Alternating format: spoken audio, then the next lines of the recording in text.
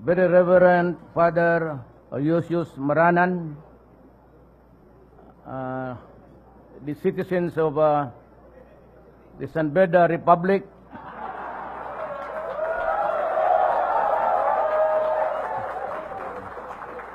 valued guests, ladies and gentlemen. Uh, well, uh, nakachamba tayo. Kumbaga sa Bisaya yung nakasabsabong nakasuso. Well, actually, I'd like to tell you the odyssey of my presidency. Alam mo, wala talaga akong balak maging presidente.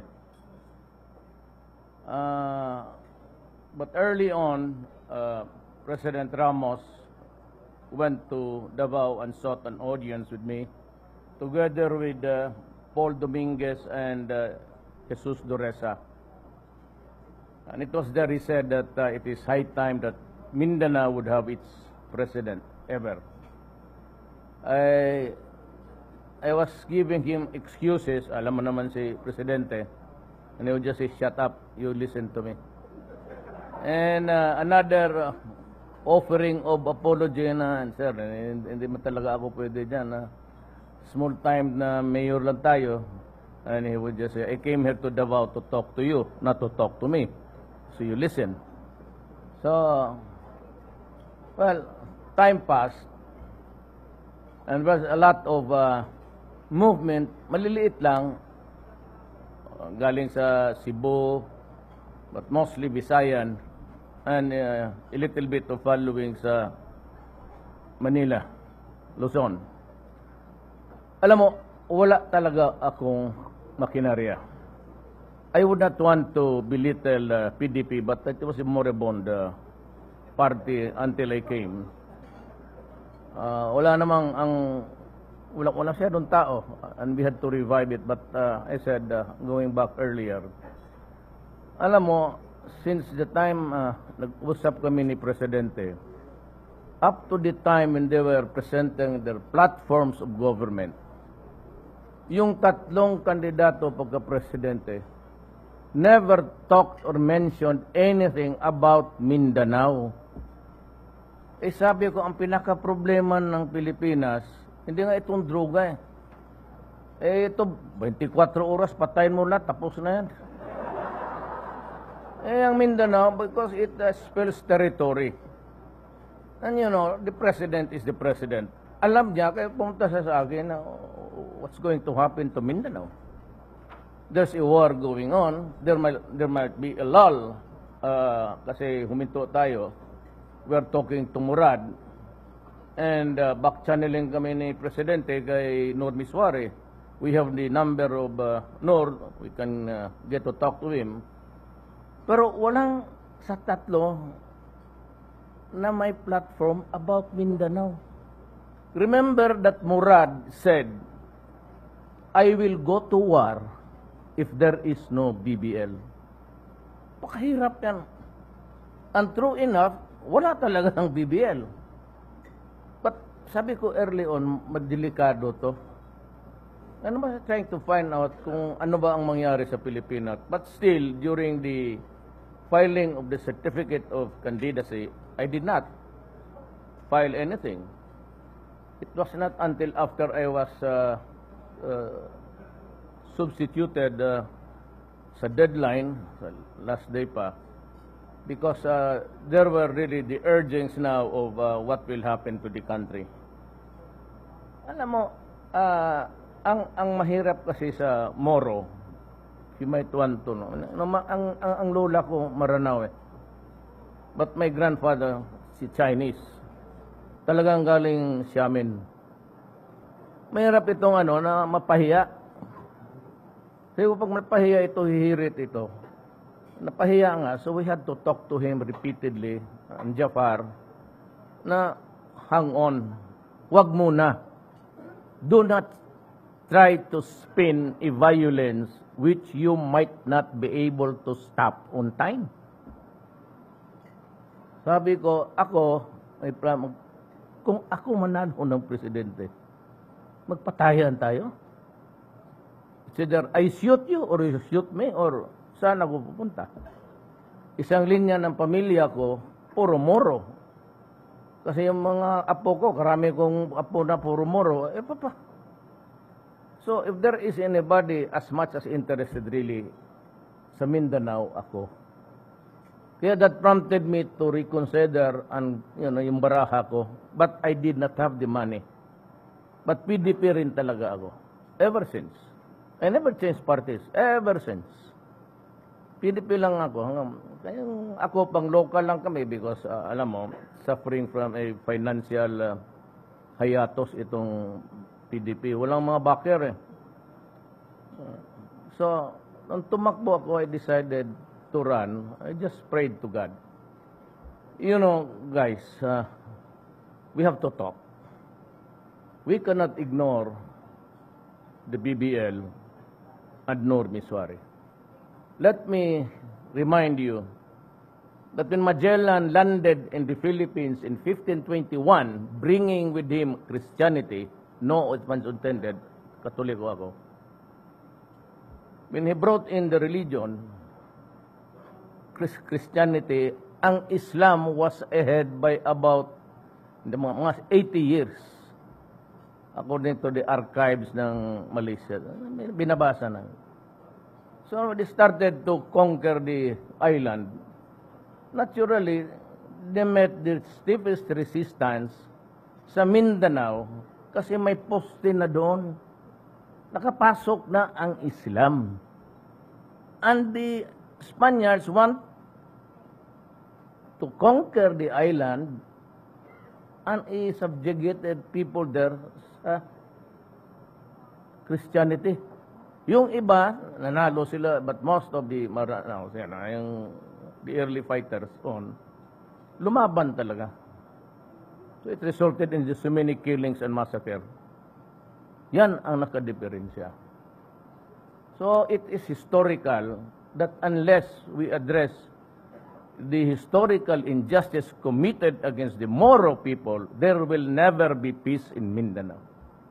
Ang last guardian is pumayag na lang sila kung wala ng iba, federal. That is why I ran, ang centerpiece ko talaga was federalism. Yan ang inihingi ni Ms. Suarez, parang pinaka-areglo na lang.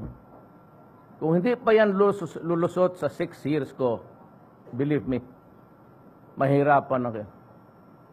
Hindi ko naman sinasabi na because may, may dugo akong may maranaw, I could just go there anytime and I can enter Mindanao eh, kung through the back door to the front gate because I have the goodwill and the, you know, the filial uh, feelings of, of the people there. Ah, yan ang walang kandidato no. Kaya ako natatakot sabi ko pagka pumutok to another round of violence. Ang problema, sabi ko sa Moro, bakit kayo maghahanit sa mga taong Mindanao na ang Maynila nga ang naggumagawa ng batas ng BBL, pati yung mga batas to enable it to be implemented. Why are you bombing the island itself? Kung gusto ninyo, ikarga natin yung mga armas natin, yung mga mortar na hindi pumutok ng army, inilalagyan nila ng butas, ginagawa nila ng fuse eh. At pumunta tayo ng Maynila, paputokin natin yung Congress, pati yung Malacanang. Bakit, bakit mo patayin yung kapo mo tao dito na? Lahat naman kami may gusto eh. So, doon ang... Then the next was really the corruption. And ang drugs, my God. Tong corruption, in my time, during my watch, there will be no corruption, period. Kaya yesterday, I was reading the Inquirer or uh, isa pa, uh, Daily Bullet. Yung uh, letters to the editor, meron doon babae that she was uh, given the go around. She had to kept on uh, uh, going back to the, uh, sinabi ko sa staff, hanapin ninyo ito. Kung anong opisina itong, nito, sabihin ninyo, pinatawag ko sila dito. Kakasabi ko lang sa inaugural speech ko eh.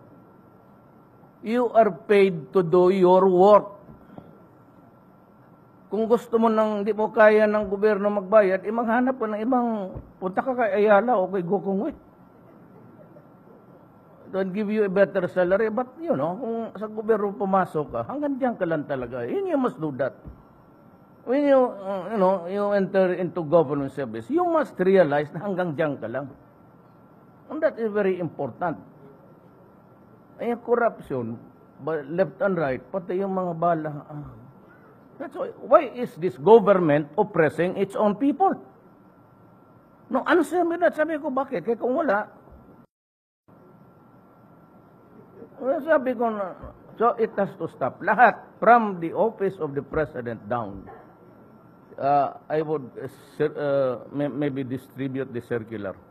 Sabi ko, yung cabinet, sabi ko, 30 days, whatever department, 30 days, reduce the signing authority, I do not give, kung sa ano nung gusto mo, 3 to 5 signatures, one month, lalabas yan. Huwag kayo mag-follow up. That is mandatory. At magagalit talaga ako. Now, if you cannot comply with it, I'm sorry. We part ways. That's the only way to do it. Just like in Davao. You ask for a permit, electrical, engineering, or yung business, three days. It's by 72 hours. Pag hindi mo naman, you do not release it to the guy. Sabihin ko, eh, ibigay mo sa akin, after three days, bakit tanongin kita, bakit itong papel na ito tumagal sa opisina? Ganun lang magdisiplina. Eh, yung sabihin mo na ayaw ko ng droga, umalis kayo kasi ako ng mayor. Eh, nandiyan pa rin kayo. Sinabi ko na. Tapos bibili ako sa iyo ngayon. Tapos bibili ulit ako sa kinabukasan. Tapos sabihin ko sa pulis, bumili ka ng pangatlo. Pagkatapos ng delivery, patayin mo. Look, we cannot build a country by killing our own people. That is admitted. Pero, alam mo, pagka pinasukan tayo ng ibang-ibang klaseng uh, tribo and from other sources outside of our country, at lulutuin mo na yung shabu dyan sa mga barko, itatapo ninyo, lagyan ninyo yung GPS. May GPS pa mga ulol. And we are the only country, I think, in the world, except South America, na doon yung shabu niluluto mismo sa National Penitentiary.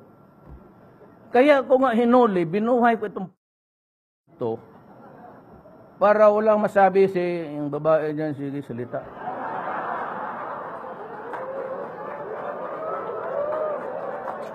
Ah, sige, buhayin ninyo. Ah. Given the trial, fair trial, judicial trial, o di okay. O pagkatapos ano, kasi baliktad yan eh. Kung taga roon ka, doon ka tatapon. Kung taga doon ka sa amin, dito ka, sumunting lupa ka. O pagdating dyan, ang ginawa ng... Nagluto pa rin ng siyabo. Edi, mas mabuta pinatay ko na noon. Minus-minus yung problema natin. Kaya ako galit kasi ang siyabo, constant use of siyabo, even by months, would destroy the human brain. It shrinks the molecules, pati yung mismong utak. Actually, sabi ng forensic sa Mexico, because they're starting to do meth, kasi mahal yung heroin ngayon, pati mura na nga dito eh. Mabuti pa yung mga sapapis. Because marijuana, heroin, cocaine, they're grown naturally. Wala masyadong chemicals. Itong shabu, ang tubig na luto niya, yung tubig sa baterya ng sakyanan. Para may starter dyan sa loob ng... Kaya naging loko-loko. Remember ha, I am not defending the police. Nandyan ako sa gitna. It's just just pushing for it. Kasi you are uh, putting my country in peril. Kakabibay ko lang ng libro, eh, iyon, garit, eh, but, but it's there on the table. It's sold online. Bilhin ninyo. Pagkatapos ninyong mabili basahin ninyo at humarap kayo sa akin, sabihin ko, mali ako o tama? In four or seven years, if nobody interdicts the drug uh, business in the Philippines, we will be a narco-politic. Sa kaya sa tatapusin, may magtatapos talaga nito and have placed the burden upon myself. Tatapusin ko ito even at the cost of my honor, my life, and the presidency itself.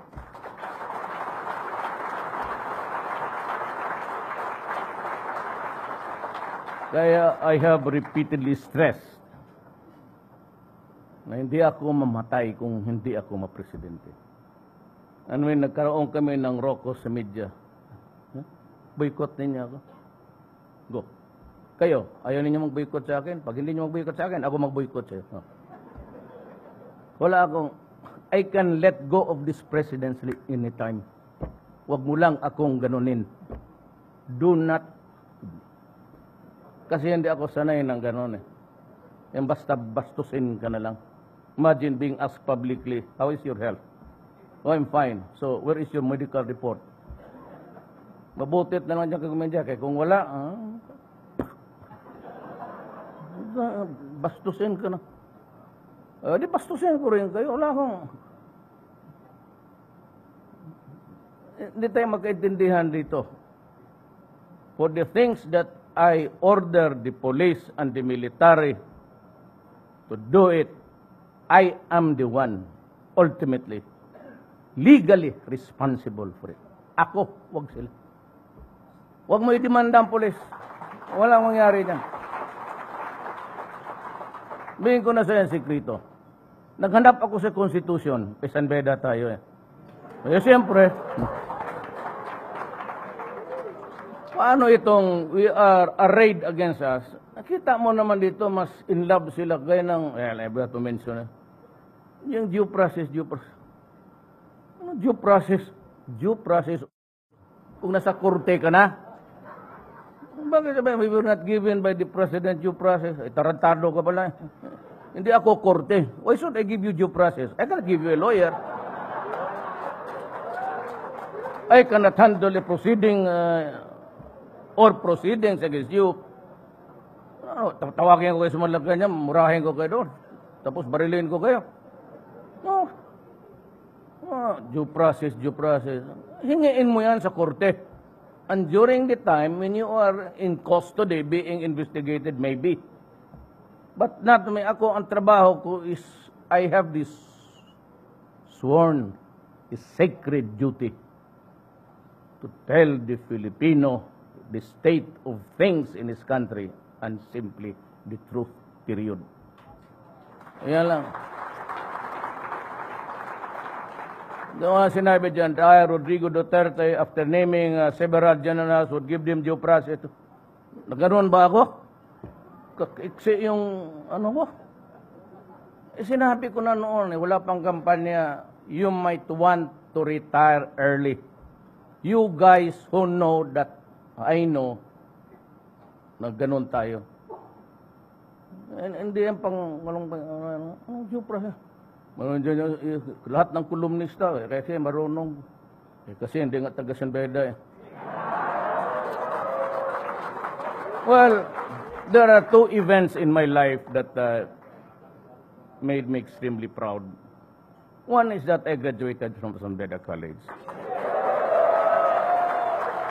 And the other one was uh, the greatest uh, compliment that I received to make me towards the presidency. One uh, day, Mindiola was uh, really very uh, dangerous at the time, the militant mga estudyante, and the left, huwag na natin magbulan, sila yan eh. Mga komunista, uh, pag uh, bukbakan dyan sa ano. So kami doon sa loob, sa eskwelahan, nagsiuwi na yung high school. Di, sabi ko, siguro, uwi na tayo nito. Do, Nag-uwi na lahat, kumain muna tayo sandali kasi baka matraffic. Kung matraffic tayo nito, patay. So, nagkain kami ng, yung sa barbecuehan. Tapos, patapos tatlo, I do not remember, I think it was Cablitas was one of them.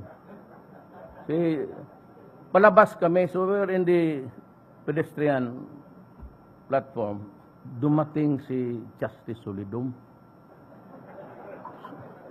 Pasok niya, ah, nasa front seat lang yung nagdadaan ng masakay. Yung Volkswagen, yung grag-grag. Sabi niya, nakilala niya kami. Sabi niya, Where are you going? Sabi ko, sabi niya, Sir, Sir, it's uh, dangerous outside here. Ah, never mind them. Let them fight. You go back. Wala, wala na masyadong estudyante. Siguro may na- naabot doon, yung nagdadaldal na hindi po umuwi kagad. So, upo na kami doon. May tinanong yan siya. Eh, siya, Te! Hindi mo naman nagsasabi ang Duterte. La, la, la, Te! Parang may narinig ako, di- tumindig ako. Sabi ko, sir, ang... Matanda na rin ako, 71 years old. Tapos sabi niya sa akin, eh, dalawa kami, "Yeah, Damn it, why are you standing? Uh, I, I, I, I, I, I, I thought, sir, that uh, I heard my name called. Ah, because you're always talking at the back. Come here, you stand up there. Pagdating ko doon, sabi niya, sino, sino, Cherry ba? Kaliso. Ah, sit down. You recite. Tindig ako. Ano? Tapos nakini- tinginan kami. Siya what? Sir, there is no question yet, sir. Ah, God damn it! Sige, gano'n na. Duterte, do not, Duterte, do not scratch your hair in this classroom and spread your dandruff.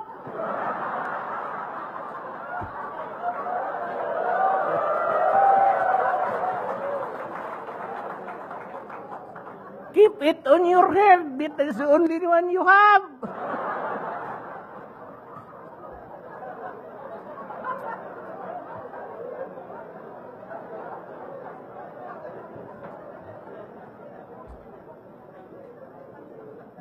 Uh, you might want to say that the, the dandruff president.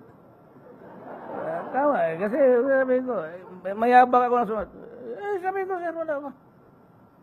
Eh, si galit lalo. Uh, eh, nagkaganon na, no, kasi,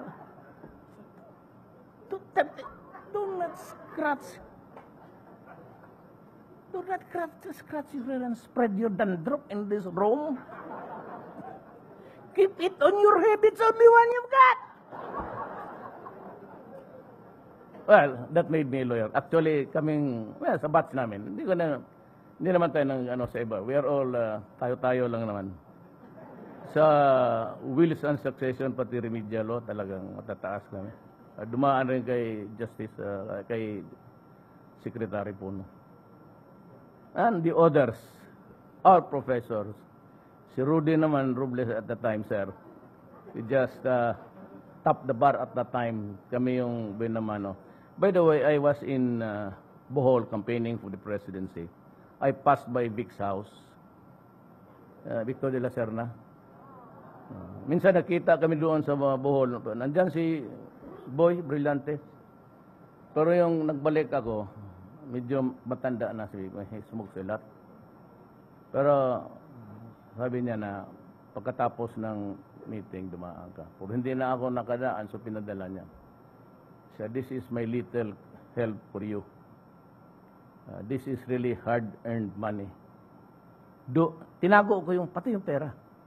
Hindi ko ginastos. Hindi ko man alam. Hanggang ngayon sa envelope. Nilagyan ko lang ng rubber band. Do something good for your country. And if you find it hard because there are many, o yung ayaw, then if it is good, do it. Declare martial law. Ano? Pakita ko sa inyo. You guys, if you go to Davao, it's in my safe. Yung pagpakita ko talaga sa inyo. Yeah, tatawagan ninyo si Vic. Ganun talaga sinuhat niya. If you find it hard to do it because of the parang then declare martial law. Well, I will not do it. Far from it, actually. Uh, we were uh, around during uh, those times. Ang akin lang is uh, yung pati, pati, let the, the Filipino taste what what what is government. really. So kaya yung ano, yung, the usual is uh, if they go there, plano ko kasi bigyan mo ng shopping list. I mean the requirements uh, for that uh, particular whatever. Then wag mo nang dagdagan, wag mong kunan. It produces all those documents, bigay niya sa iyo, you have to have a journal. Receive the following application for whatever. You sign it, do not do it in the, kasi ma-erase uh, and let him sign also. Bigyan mo ng stub, then go to the computer, ang laki ng gastos ng gobyerno to na ano, tapos di nagagamit. Then look at the workload. When you say, come back at, on this day, on next month, on this day, at this hour. Bigyan mo ng stub. Pagbigay niya, kailangan nandyan na yan. I do not want to see the Filipino queuing outside. Ayaw ko yan. Especially yung mahirap. Hindi, it, it, it, it might be a pretended uh, sentiment, whatever you would call it, to do the unbelievers. Basta ayaw ko, lalo na yung mga taga-probinsya. Lalo na yung taga-probinsya na magastos pa pupunta rito, tapos maubos ang sweldo kababalik. You know, it's always one trip dito eh. If you go down sa Naya, you, you ask for a lodging there somewhere, makikitira, tapos pupunta doon isang biyahe lang sa Kalayo, tapos pabalik-balikin mo ng araw, ah, kalukuhan yun. Something has got to give here. Kaya sabi ko kay Bebot Belio, find a space there. Lagyan mo ng, ng kung saan yung opisina mo, gusto mong lumipat ng malaki, find space there where you can place the satellites of uh, sa DFA. Tapos sa uh, National Bureau of Investigation. Diyan na, one stop. Same building. Or at least same uh, vicinity. Makalakal siguro mga 100 meters. Then that's it. Ayaw ko magbalik-balik ang tao. Ayaw, I, I, I would like to stress it again. Ayaw ko pahirapan ang Pilipino. Period. Ayaw. So, mandatory yan, including the office of the president down to the barangay level. I will bind the local governments to strictly adhere to what the essence of government services. Diyan tayo. Diyan tayo. Magtiis lang kayo kasi sa bagay six years lang naman to. Pero pagka nagka-diferensya tayo dito, umatras ka kasi talagang ayaw ko. Davao is uh, what Davao is today. Kasi sinabi ko, here are the rules. Umalis kayo. I would not pursue you beyond the boundaries of my city. Go out. Tapos kayong taga-gobyerno, ganito. If you cannot do it, tell me. I'll give you your marching orders out pati police. I have the, I have the most behaved police force in the entire Philippines and Davao. I do not allow checkpoints. Kaya dito ngayon, I will, one of these days, uh, depending also on the advice of the military and the police, I would tanggalin ko lahat ng checkpoints. Ngayon sa bukid, sinong mag-checkpoint? Hindi mga MPA. Ano, trabaho ninyo? Wala, dala kayo ng armas, wala naman kayong kaya nag-uusap tayo, di ba? Oh, di slow down muna kayo. I will be asking the uh, the NDF to, to just really do that. Um, lahat uh, mabutit na lang ang goodwill ng MI and the rest of Mindanao, the Moro leaders are up against arms also against the drug menace. And it's good for our country. It's good for tax. Just like China. War, it is not an option. So what is the other side? Peaceful talks. I cannot give you the wherewithals now. Uh, I have to consult many people, including President Ramos. He might want also to be one of the, but I would uh, uh, like to respectfully ask him to go to China and start the back We gain nothing, but we do not also want to offend uh, the United States. Why? Because we have identified ourselves allied with Western powers. So that's an interest which we should not forget. Our interest and the interest of our allies. You know, there are a lot of complications there. Because now that the tribunal has ruled, the yung arbitral uh, decision says that is, uh, and if China would insist on a uh, space domain, that you have to identify yourself before you can cross that uh, vast uh, sea there, America will not like it. So they would insist that it's a Philippine uh, airspace. Then walang pro- And of course, the maritime security is just too narrow there. Alam mo, pag nagsira yan, lahat tataas. Because even the insurance of the cargoes on the boats, on the ships there passing by, tataas. So it will create another problem for our economy and uh, somebody else's finances.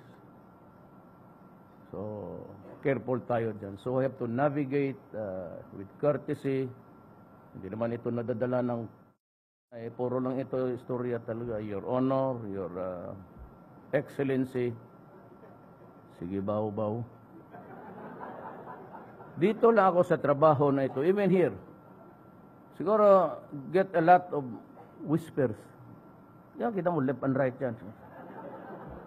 Eh, ako piskal doon, huwag magbulong-bulungan sa akin dyan. But now you get uh, a lot of whispers, including the, sa, yung, sa labas. All state matters, but I assure you that uh, uh, the, run, the, the, the, the, the run of this country would be like uh, just uh, what we are in our hearts. This Sanbeda faithfulness to our nation. So, gano'n lang naman, uh, gambling has to stop, but in the meantime, that I am focused on uh, the, the drug menace. Why? Because pagka tinanggal mo yan, there is that uh, apparatus of gambling. Uh, mga kumukolekta ng pusta, and uh, you suddenly mabakante yan, uh, everybody stops. Ang magti-take over ng organization yan, pakialaman na yan ng droga. Ah, see? It doesn't mean to say that I, I, like, I like quitting that. Maano tayo, I, I cannot be stretched thin. So I'd call the military. Hindi naman lahat eh. Just a team there to help the police. But they have to undergo so many legal lectures about the law on arrest and seizure, then the delivery of persons to the judicial authorities, the number of hours, uh, how to get a warrant for an arrest or uh, to search a building. Marami tayong natin, even in the handling of uh, yung drug cases. Na, na, nakitikyaw tayo. But I remember at the time when I was uh, a prosecutor, very early on the nine- 1970s, it was really a heartbreaking job of, alam mo, may kaso ka, it's good, the affidavits are there, but pag-present ng evidence, uh, some wise say that uh, we want uh, to have analysis, analysis of the, because your honor, we have heard stories that has been, at totoo nga, hawak-hawak ko, uh, tawas. Sabi ko, in, in my time, do not do it to me. Huwag sa akin, sa iba na lang. Sa iba na lang. Ah, huwag sa akin kasi medyo mapapasubo tayo nito lahat. But anyway, I cannot uh, detain you for uh, any longer. If, uh, if there's anything that you'd like to me to answer, uh, let us convert this thing into a open forum if you like. Okay ako. Pero basta ako, iwas lang kayo dyan sa mga, sa kayong mga abogado na gusto, na, na lahat tayo abogado, pero gusto ano na litigation mean, sa ano. Alam niya mga drug lord na Sos Mariusep. Karaming kaso dyan na pakialam mo, bakit ba yung mga laglord? Ibigay mo doon sa iba, ibigay mo doon sa taga-UP pati Ateneo.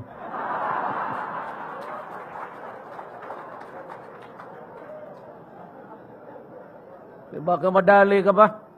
Eh, tapos, eh, na, ala, ala- pag- kasi ang alam siya, turo, eh, drug lord rin. Eh. Hindi, abogado yun, gago. Papunta yun sila sa korte. Ah, sir? Ah, bigay mo na sa iba. Marami dyan. Huwag lang San Beda kasi mga kaibigan ko sa Davao noong mayor ako, iwas kaso sila. Most of the Davaoino lawyers there, ayaw ng ito. Kasi alam nila ayaw ko. eh.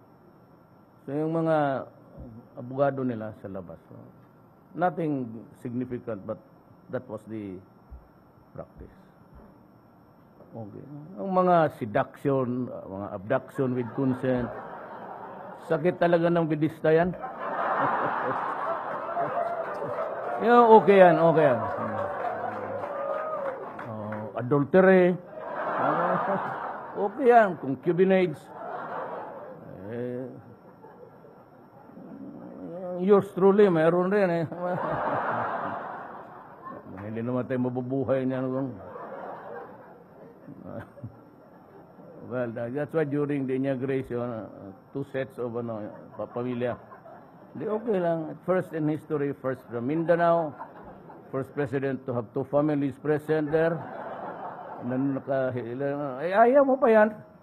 That is in keeping in obedience of the culture that is there but it's never accepted by anybody, but everybody is doing it. Well, anyway, uh, I'd like to thank you for this uh, moment with you. And uh, uh, if there's anything that I can do for you, as long as it's legal and it is right, no problem. Wala akong problema. Kung wala kang siguro, yung iba matanda na, walang trabaho, di sabihin mo sa akin. Maraming, there are thousands actually, it's 1,600. Hindi ko na, sabi ko, hayaan mo na. Kung wala lang namang, ano niyan, walang, walang, walang, no, no corruption natin. Huwag mo nang isturbuhin yung nandiyan na sa pwesto. Hayaan mo. Okay na sa akin. Ako, basta it's competence and integrity, honesty. Pag nandiyan ka, we can work together. Uh, you can go to me anytime. Wala problema. Pero nakakatawa nito, wag kayong magmaong. Totoo yan. Tanong mo yan. Hindi ka papasukin. If you are there pagka namaw ka, sabihin ka, hindi, bawal ang ma- bawal ito. So ngayon, punta ako nung, eh, eh, hindi ko man, alam ko yan. Pero yung, kasi yung panahon ni Estrada, there was this incident that my son, the vice mayor now, Davao City, got into trouble with a security guard. Ay pinalo niya yung gate, nabali yung kamay ng security guard. Tapos, ah, alam mo na, the media, as the media want to do, so interview na, oh, paano, magdemanda ka, gano'n. Sabi ng security guard, hindi ako magdemanda kasi ang tatay congressman.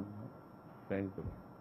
So itong media tawag agad. What can you say about the statement of the security guard? The, yung uh, nasaktan, ayaw rin niya magdemanda. Sabi ko, madali yan. So right there and there, I dictated my resignation from Congress. Oh, it's on record. I am the only congressman nag-tender ng resignation. Sabi ko, because of the incident involving my son, tapos gano'n, blah, blah, blah. Then I submitted it to Villar. Sabi niya Villar, sabi niya, here is, uh, nilagay sa agenda, the resignation of Mayor Duterte. Sabi naman ni Joker, the late, Joker Arroyo, no, we are not allowed to accept any resignation from any, we are not the employer of Duterte. We are not from his district. It is only the people of his district who can accept his resignation.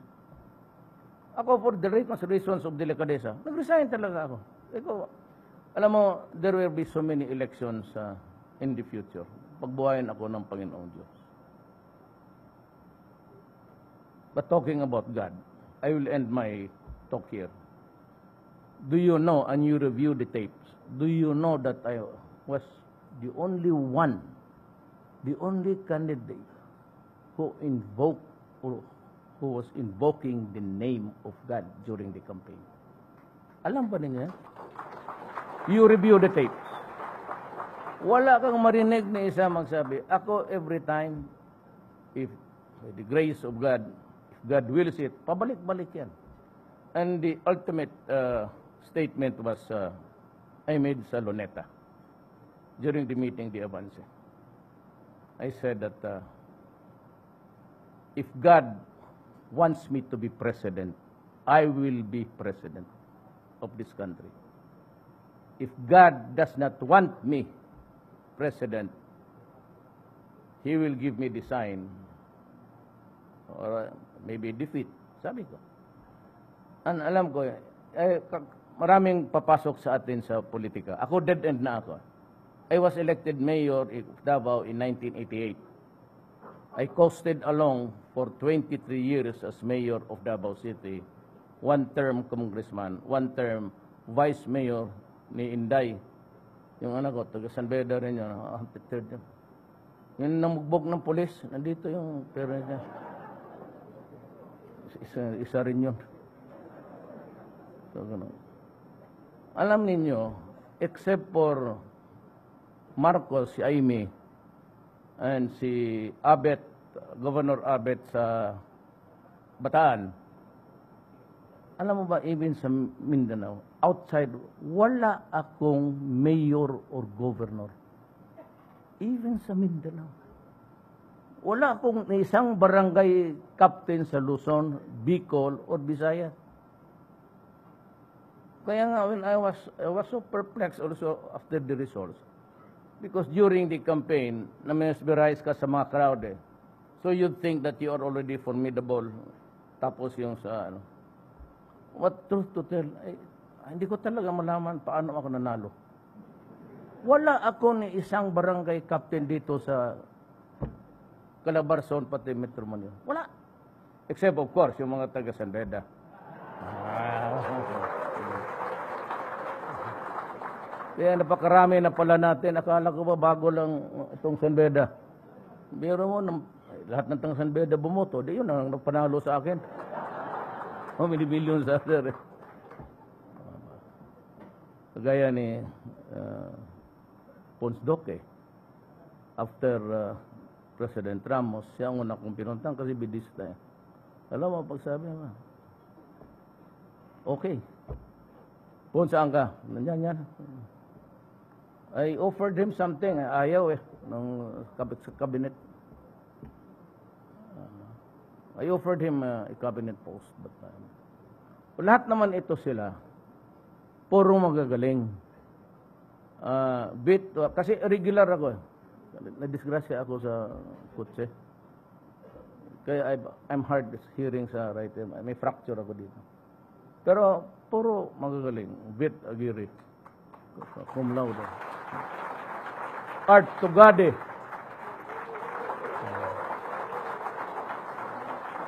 Si Bingbong. Dalia. Marami ito. San Beda. Marami sila. Sabi ko, uh, Rudy Salalima. Ngayon ito sila, sabi nila, ito si Duterte, walang kilala ko it San Beda o taga Davao. Ano was the, riddle? Oh, I'll give you the answer. Probinsyano ako. Nag-aral ako ng Maynila. Along the way, wala naman akong nakilala na talang naging close. Except my wife, kasi stewardess eh. Ito ang asawa ko, eh, German, si Zimmerman. Kasi maganda yung Pero ang kilala ko, taga Davao, far and, far and wide, in between the years, yung sa kasakay, sino mo kilala mo, except, except your wife? Sa Maynila, dito naman sa dormitoryo lang ng YMCA, pati sa eskwelahan. So sino man ang makilala ko na brilliant, uh, except si Sal because talagang outstanding, Sal Panelo, at uh, UP, Wala akong ibang kilala na bright. I was not invited to the socials here. They didn't even recognize me, my name. Wala. Except sa eskwelahan. So, ang nakuha ko, yung kilala ko ng mga bright. Carlos Dominguez, de Finance, kababata ko yan since kindergarten. Valedictorian yan hanggang natapos yan sa, I don't know what school sa Amerika. So, puro kilala ko. Ang kilala ko lang na may, ah, si, si Pagcor, si Andrea, she campaign for me. Yung talagang, so yan lang, yan lang nakilala ko sa buhay ko. Hindi yun na sila yung kinuha ko, yung mga, kasi, wala namang ibang nag-apply, siya ako hanap. So, yan, yan ang sikreto doon. Kasi wala akong kakilala. Ang kilala ko lang ang mga bright. Ang mga, puro mga Vit Aguirre, ito, ito Tugade, bright boy yan. Ah, Sunny Dominguez, valedictorian. Puro valedictorian. Ang presidente, 75 lang. okay lang naman. Jess Doresa. Naging classmate ko yan. Valedictorian. Nakita ko nga yung grado niya yung general weighted average pag-graduate namin. Sabay kami kumuha ng card eh. Sabi ko, tingin ko sa kanya, Jess, ilang iyo? Kaya, 96 bay. Yung iyo, kuha ko naman. Ay ko, wala, wala. Kukunin ko pa. Tama nga, paglabas 78. Di, oh, but by the way, uh, Jess De Rosa is working for me. ah. So is Sunny Dominguez, Artugade, and Vit and Cesar. All brilliant, working for uh, ordinaryong uh, bidista lang. Pero, uh, salamat po.